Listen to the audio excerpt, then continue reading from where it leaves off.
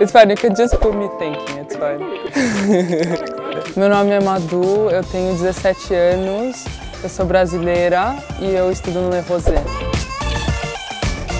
Eu escolhi a Suíça porque ela proporciona várias coisas diferentes que gente do mundo inteiro vem estudar na Suíça e com certeza porque é um país maravilhoso e muito diferente de todos os outros do mundo. Yeah, yeah.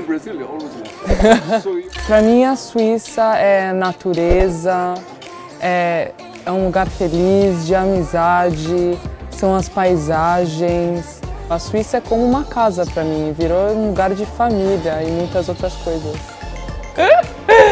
Ah, eu não sei o que falar.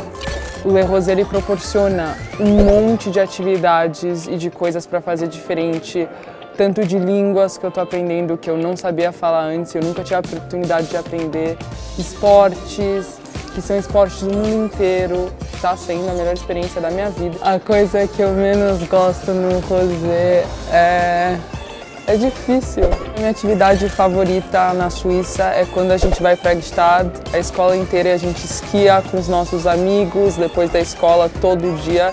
Que uma coisa que eu nunca teria experienciado se não fosse na Suíça.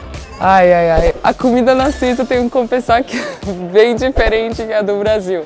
É, realmente não tem feijoada, mas é muito gostosa. E é claro, muito queijo, fondue, fondue e essas coisas. It's so hard. Wait.